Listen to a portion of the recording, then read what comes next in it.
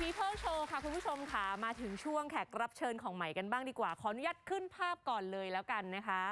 แขกรับเชิญที่ไหมพามาวันนี้นะคุณผู้ชมค่ะเป็นอดีตแม่ค้าขายก๋วยเตี๋ยวค่ะ ภาพมาหรือยังเอ่ยขอภาพนิดนึงนะคะ เธอคนนี้ขายก๋วยเตี๋ยว และมีรถมอเตอร์ไซค์คู่ใจค่ะที่เห็นอยู่นี้นะคะ เมื่อประมาณ 2 ปีที่แล้วค่ะ รถคันนี้เนี่ยขับไปจ่ายตลาดต่างๆ นานาไปซื้อวัตถุดิบต่างๆเนี่ยมาขายก๋วยเตี๋ยววันดีคืนดีค่ะ ขับรถไปมอเตอร์ไซค์เกิดยางแตกแจ็คพอตรอบแรก รอบ 2 ก็คือด้วยเงินทุนน้อยนิดที่ซื้อมาขายของนะคะทำให้ต้องเปลี่ยนยางเคาะซ้ำกันซัดนะคะ วันดีคืนดีค่ะมอเตอร์ไซค์คู่บุญของเธอคนนี้ ถูกยึดจ้ะแจ็คพอตที่ 3 นะคะ ถือว่าเป็นเรื่องหนักในชีวิตก๋วยเตี๋ยวทำให้มีรายได้ แต่มอเตอร์ไซค์ทำให้เธอถูกยึดทั้งหมดเลยนะคะ เรียกว่าชีวิตนะคะก็ ตลบฝุ่นกันมาเลยทีเดียว จนวันนี้ค่ะจากมอเตอร์ไซค์คันเก่าคันนี้นะคะที่คุณผู้ชมเห็นกับร้านก๋วยเตี๋ยว ที่ขับมานะคะ ตลอดชีวิตในการขายก๋วยเตี๋ยวของเธอ เปลี่ยนเลยค่ะอ่าชีวิตของเธอพลิกจากรถมอเตอร์ไซค์คันเก่าวันนี้นะคะ กลายเป็นรถ Mercedes-Benz นั่นเองค่ะคุณภาพขาคุณภาพขึ้นหน่อยอถือว่าใช้ รถเบนซ์นะคะที่สามารถที่จะซื้อมอเตอร์ไซค์คันเก่าเนี่ยได้เป็น 10บสคันเป็นร้อยร้อยๆคันเลยอะเกริ่นมาขนาดนี้พบกับแขกรับเชิญของไหมเลยดีกว่านะคะ คุณเปิ้ลปทุมพรรอดพุทธค่ะ สวัสดีครับคุณเปิ้ลครับ สวัสดีค่ะโอ้โหทุกวันนี้นี่คือขับรถเบนซ์ไปจ่ายตลาดซื้อมาซื้อของมาขายก๋วยเตี๋ยวอะฮะ เอาอสิย่างนี้รถเบนซ์ตอนเนี้ยจอดเฉยๆค่ะ เอ้าทำไมมาคะ แค่กองค่ะ เพราะว่าเราขายของอะไรไง ก๋วยเตี๋ยวไม่ขายแล้ว ไม่ได้ขายก๋วยเตี๋ยวแล้วคือค่ะตั้งแต่โอ้อัปเกรดเป็นเบนซ์นี่คือใช่ก๋วยเตี๋ยวก็คือ ไม่ได้ขายเลยค่ะอ๋อก็เอาร้านก๋วยเตี๋ยวยกให้กับลูกน้องคนเดิมไปหมดแล้วค่ะค่ะโอ้โหให้เขาไปใจดีฟรีใช่ใช่สองปีที่แล้วค่ะสองปีที่แล้วขับมอเตอร์ไซค์ฝุ่นตลบตลบเลยค่ะทำไมถูกยึดอะเออต้องบอกแบบนี้ คือจริงๆก๋วยเตี๋ยวเนี่ยต้องต้องกลับไปขอบคุณด้วยเนาะค่ะอาชีพนั้นนะทำให้เปิ้ลมีบ้านมีรถอืมแต่ก็ไม่สามารถพอมันเจอวิกฤตอะค่ะค่ะอื มอืมเอ่อมันก็ไม่สามารถรักษาไอ้สิ่งที่เราหามาได้ทั้งหมดเลย อืม นี่แหละค่ะ เป็นเป็นสิ่งหนึ่งที่ที่แบบโอ้โห ต้องยอมรับว่าเราต้องเปลี่ยนครับ จริงๆค่ะ ก็เจอโควิดใช่ไหมฮะใช่ใช่เออค่ะจากปกติก็ขายได้ขายใชดี่ใช่แล้วมันขายในมหาลัยไงคะอ๋อ มันขายในมหาลัยดังนั้นพอ รัฐบาลบอกปิดล็อกดาวน์ จบเลยจบเลยไม่มีค่ะรายได้มันเท่ากับศูนย์ อื้อหือแล้วเรื่องที่ขออนุญาตเรียกพี่เปิ้ลแล้วกันได้นะคะค่ะพี่เปิ้ลจะเล่านะคุณผู้ชมค่ะประสบการณ์ถ่ายทอดจากเรื่องจริงวันนี้ ถ้าเกิดใครที่ประสบปัญหาอยู่หรือต้องการแบบว่าที่พึ่งในการพูดคุยขึ้นเบอร์ให้ก่อนเลยนะคะ โอ้เยี่ยมเลยเบอร์โทรค่ะ นะคะที่ขึ้นให้ด้านหน้าจอนี้นะคะ แล้วก็รวมถึง QR code นะคุณผู้ชมค่ะค่ะ แอดไลน์กันเข้าไปคุยได้นะคะไลน์ KIN 98นะคะหรือว่าเบอร์โทร 081636 3592 นะคะ นอกจากนี้เนี่ยถ้าเกิดว่าแอดไลน์ไปแล้ว รบกวนส่งสติกเกอร์นิดนึงอ่า นะคะใช่อะใช่กลับมาต่อ โอเค พอปิดปึ้ง ปิดปึ้งวันนั้นคือมันเหมือนฟ้าผ่าแล้วแหละ ครับ เพราะค่ะ ว่ามันเป็นจังหวะเดียวกับที่แม่ไม่สบายด้วยโอ้โหแบบคือเคยดูในทีวี เออเฮ้ยเรื่องราวคนนั้นคนนี้ทำไมมันแย่จังวะ เออมันจริงเหรอวะมันเหมือนเรื่องแต่งเออ มันเหมือนเรื่องแต่งอะค่ะ แต่พอมาเจอตัวเองเฮ้ยมันไม่แต่ง อืมมันไม่แต่งคือในวันที่เราวันที่แม่ผ่าตัดอะค่ะ เป็นวันที่ finance ก็บอกว่าจะไปรับรถแล้วนะ รถมอเตอร์ไซค์อะนะฮะใช่ รถยนต์รถมอเตอร์ไซค์มันคือ อ๋อคือวิกฤตมากเพในราะเราตอต้อนงนั้นผ่อนนะคะอะไรอีกตั้งเยอะใช่ไหมบ้านซื้อมาแล้วต้องผ่อน เออ คือหนักมาก บ้านก็ค้างเขาหลายงวดมาก คือมันหนักจนชค่ะ นิดที่ว่าอะไรอะที่หนักที่สุดคือ แม่ผ่าตัด อืม อืม ไม่มีตังค์ รอันนี้วมคือที่สุดๆค่าใช้จ่ายตอนนั้นที่ว่าหนี้ต่างๆที่เขาจะมายึดค่าใช้จ่ายคุณแม่รวมเท่าไหร่พี่เปิ้ลก็ถ้าณวันนั้นนะคะหลักหลายแสนบาท เอโอ้อหลายแสน หลักหลายแสนในวันที่เราไม่มีไรายได้ มันหนักมาก อืมันเท่ากับศูนย์แล้วเราไม่มีเงินเก็บเราค่ะ ไม่มีอะไรเราต้องบอกว่าการเป็นแม่ค้าเนี่ย ใครอย่าบอกว่าแม่ค้าบางคนเขารวยเนาะแต่เปิ้ลกับเปิ้ลเนี่ยเปิ้ลแค่มีเงินหมุน เออ มันไม่ได้รวย มันไม่ใช่รายเหลือ แต่ตอนนั้นคือพี่อะเรียนจบปริญญาตรีมา แล้วจบ ขายก๋วยเตี๋ยวทำไมไม่ไปทำอย่างอื่นเสริมนั่นไงคู่กับมีคนขายก๋วยเตี๋ยว มีคนถามหลายคนว่าอ๋อเฮ้ยเรียนจบตั้งปริญญาตรีแล้วทำไมถึงมามาขายก๋วยเตี๋ยวล่ะค่ะ ต้องบอกแบบนี้ตัวเปิ้ลเองอะจบนิเทศศาสตร์อืมมอ่าจบสื่อสารมวลชนเลยต้องเบื้องหน้าเบื้องหลังแล้วล่ะอ่าพี่ฮะเปิ้ลแล้วก็ไปเป็นนักข่าวอยู่ที่เชียงใหม่ เอาเหรอ ใช่ แต่ว่าด้วยความที่รายได้มันมันน้อย ค่ะเราก็เลยไปรับจ้างเขาทั้งขายของในตลาดไนท์บาซ่าทั้งทุกอย่างค่ะ เอาหมดอืม จนตัวเองอะค่ะ ก็เฮ้ยมันไม่ได้ละอาชีพนี้มันไม่ได้ละแต่เขาบอกว่าเป็นแม่ค้าแล้วมันจะรวย อืมเออเราก็เลยมาเป็นแม่ค้าดีกว่า ครับอืมเอาวะ ยังไงอืมก็ดีกว่าแบบอย่างเงี้ย อืม ค่ะ ก็เลยไปเป็นแม่ค้าค่ะ วันที่ไปเป็นแม่ค้าตัดสินใจไปเป็นแม่ค้าเนี่ย ก็เป็นคนหนึ่งเลยที่โคตรขยันอืมขายทุกอย่าง ขายทุกอย่างนะแต่ณวันที่วิกฤตอะอืม สิ่งหนึ่งที่เปิ้ลมีในตัว คือสิ่งที่พ่อกับแม่ให้คือเปิ้ลเป็นคนขยันมาก อ่า เอามันทุกอย่างอะค่ะ วันที่วิกฤตโอเค ปิดใช่ไหมล็อกดาวน์ใช่ไหมอืม โพสต์ขายของนั่นนี่ขายลูกชิ้นปิ้งทำทุกอย่างออนไลน์เหรอออนไลน์ด้วยอืมก็รับออนไลน์ด้วย แล้วก็มีไอ้มอไซค์เนี่ยแหละค่ะค่ะ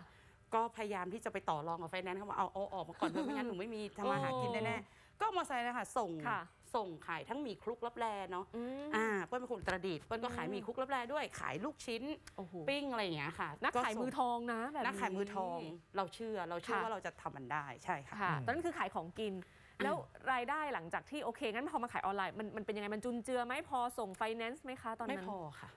ต้องบอกว่ามันไม่พอเลย เพราะว่ามันมันประจวบกับที่แม่ไม่สบายอืมเราต้องเดินทางจากเชียงใหม่กลับค่ะอุตรดิตถ์ด้วยรถทัวร์อืมทุกเสาร์อาทิตย์ไปเปลี่ยนพี่สะพายอืมด้วยครับมันหลาย ๆ อย่างอะ มันประกอบกันมันไม่มันไม่มีทางพออยู่แล้ว เราเคยขายดีอะค่ะแล้ววันหนึ่งเราหยุดขายเลยอะอืมมันเท่ากับศูนย์อะอืมขายเนี่ยมันแค่แบบเล็ก ๆ มันกลุ้มกลิ่มกรุบกริบอะค่ะอืมใช่ มันรายได้มันได้แค่หลักหลักร้อยอะจากค่ะที่เราเคยได้หลักพันหลักหมื่นอืมอืมแล้วแล้วสุดท้ายเราเข้ามาอยู่ใน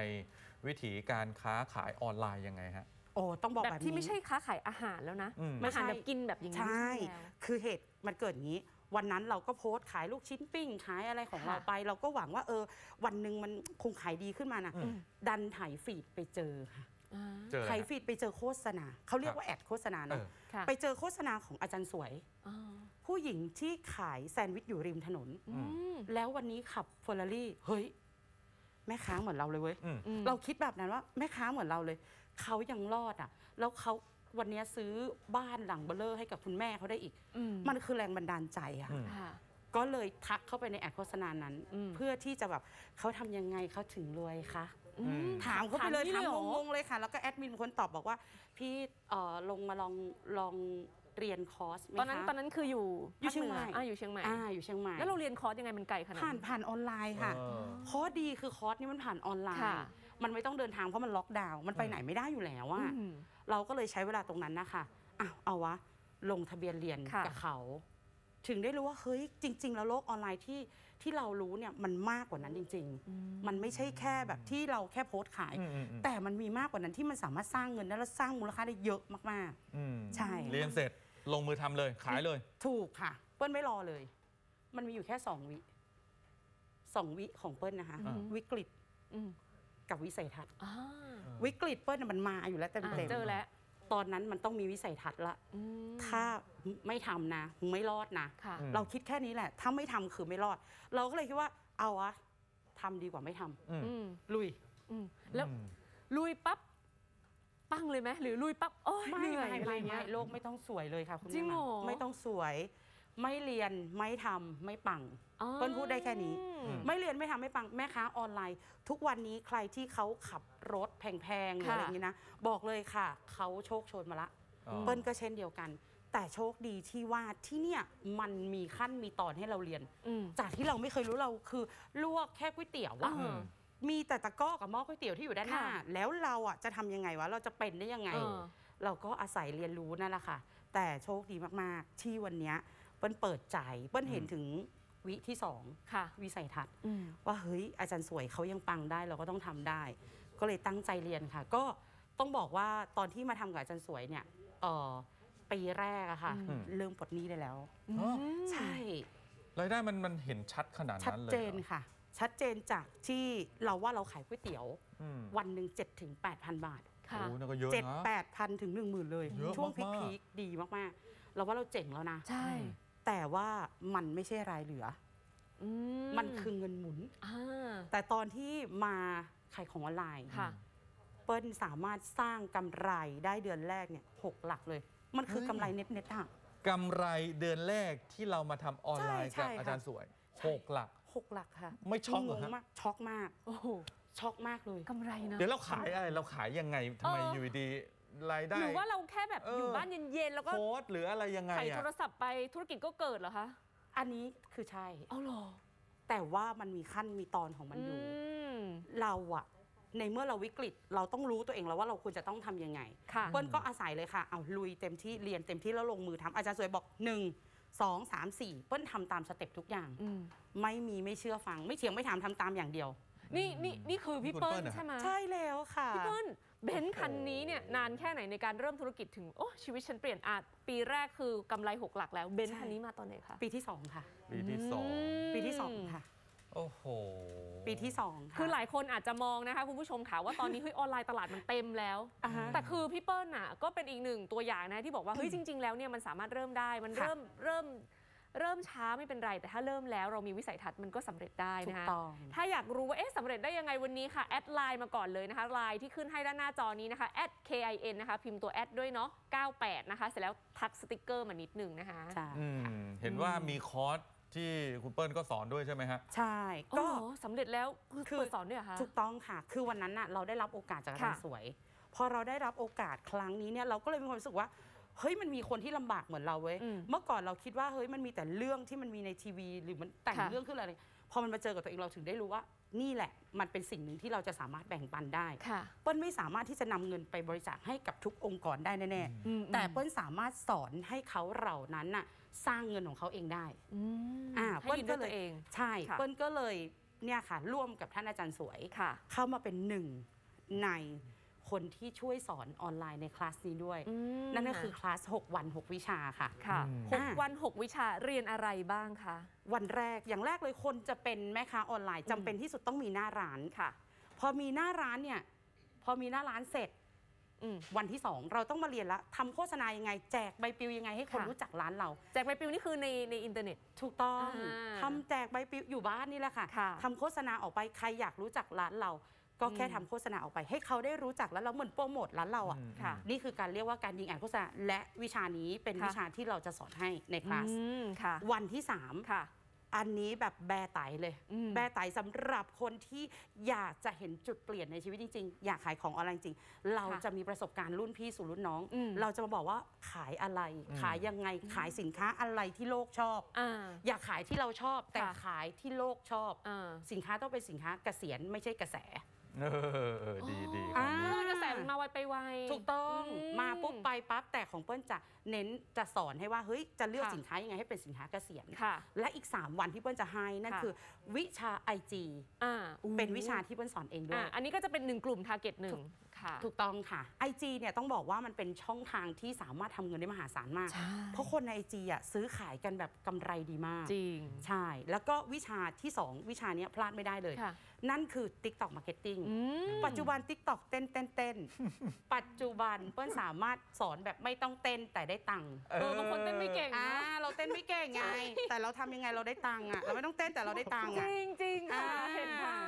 แล้วก็วิชาที่3ค่ะแม่ค้าออนไลน์จำเป็นที่สุดต้องรู้จักการสร้างรูปสร้างคลิป เพื่อให้หยุดปลายนิ้วผู้บริโภค อืมกคือลุ่เห็มน เป้าหมายยังไงอะเราอยากครับจะทำรูปเนี้ยส่งไปหากลุ่มกค่ะลุ่มเนี้ยเราจะทำยังไงได้ วิชาแต่งภาพเป็นวิชาอีกวิชาหนึ่งที่อืมสำคัญมาก ๆ ที่แม่ค้าอืมออนไลน์ต้องมีค่ะอืมหืม เห็นและรูปทั้งแล้วหมดคลิกนี้เลยอะไรประมาณใชนี้ใช่ไห่มทั้งหมดนี้ค่ะ ค่ะ เป็นคลาส 6 วัน 6 วิชา ปกติ 9,800 บาทอืมหืมแต่สำหรับ The People Show ค่ะ ให้ชื่นใจหน่อยค่ะ 98 บาทค่ะ เลิศอืมแต่ราคาดีแต่อีกเหรอคะมีแต่อีก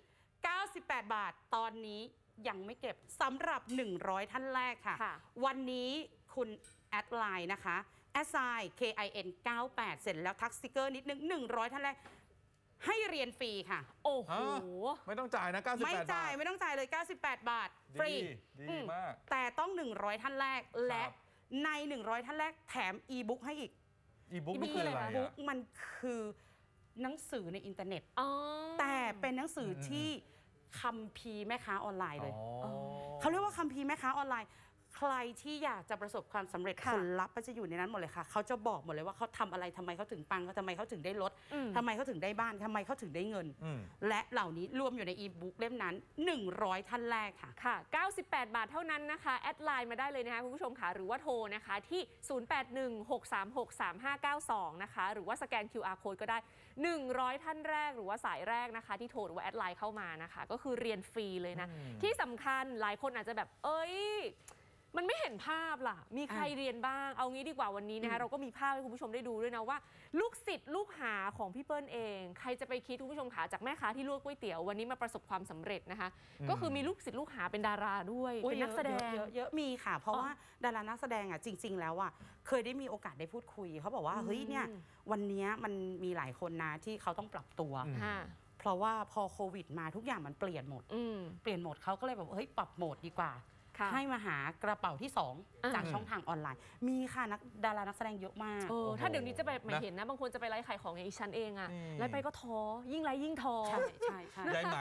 เธอเจอครูถูกคนแล้วล่ะ เออไลฟ์ไปแทบแทบจะปิดกิจการ นี่มาเรียนเลยมาเรียนใช่ เลย คือเพราะว่าเราอะไม่มีหลักการในการ ในการวาง concept ในการแบบคิดแนวทางใช่ต่างๆคือวันนี้นะคะอย่างจะบอกว่าคือมีคอร์สต่างๆ ในราคา 98 บาทที่คุ้มมาก ทั้ง IG ทั้ง TikTok ทั้ง Facebook เนี่ยสามแพลตฟอร์มอันเนี้ยคือครองโลกแล้วอะตอนนี้ ที่สุดค่ะที่สุด อืมนะฮะอยากจะให้คุณครูเปิลเนี่ยนะฮะฝากถึงผู้ชมหน่อย ค่ะ ที่กำลังท้อกำลังต่อสู้กับวิกฤตเศรษฐกิจฮะ โอเคนะคะสำหรับเปิ้ลเนาะสิ่งหนึ่งเลยที่อยากฝากไว้ก็แล้วกันค่ะ ถ้าเราอืม อยากได้ในสิ่งที่เรา ไม่เคยได้ เราต้องทำในสิ่งที่เราไม่เคยทำ ค่ะ อันนี้คือสิ่งในที่มันเกิดขึ้นในตัวเปิ้ล ดังนั้นวันนี้ค่ะถ้าเกิดว่าเราอยากจะเปลี่ยนเป็นคนใหม่ อยากได้อะไรใหม่ ๆ ก็แค่มาลงเรียนค่ะ เปิดโลกทางออนไลน์นะคะ วันนี้นะคะ100 คนแรกคุณจะได้รับฟรีไปเลยนะคะ กับคอร์สเรียนนี้ไม่ต้องจ่าย 98 ไม่ต้องจ่าย 9,800 ค่ะ อย่าลืมนะคะ ทักมาที่ s i k i n 98 ค่ะ s i k i n 98 หรือจะโทรมาที่ 0816363592 ค่ะค่ะ อ่านี่ตอนนี้นะคะ ฟรี 100 ท่านแรกนะคะ เดี๋ยวจะหมดแล้วนะรีบเลยค่ะ ค่ะแล้วทักสติ๊กเกอร์เสร็จแล้วก็ด้วย ใช่ส่งสติกเกอร์ให้ด้วยค่ะ ใช่แล้วค่ะ นี่แหละค่ะ คุณผู้ชมค่ะ คือภาพความสำเร็จนะคะ ถ้าอยากรู้ว่าเรื่องราวของพี่เปิ้ลจะเป็นยังไงต่อแอดไลน์ไปคุยกันได้นะคะกับพี่เปิ้ลเองวันนี้ขอบคุณพี่เปิ้ลนะคะ พรปทุมรอดพุทธมากๆค่ะโอเคที่มาแชร์ประสบการณ์ขอบคุณค่ะ ขอบคุณมากครับคุณเปิ้ลครับ ขอบคุณค่ะ ครับเดี๋ยวเราพักกันครู่เดียวครับ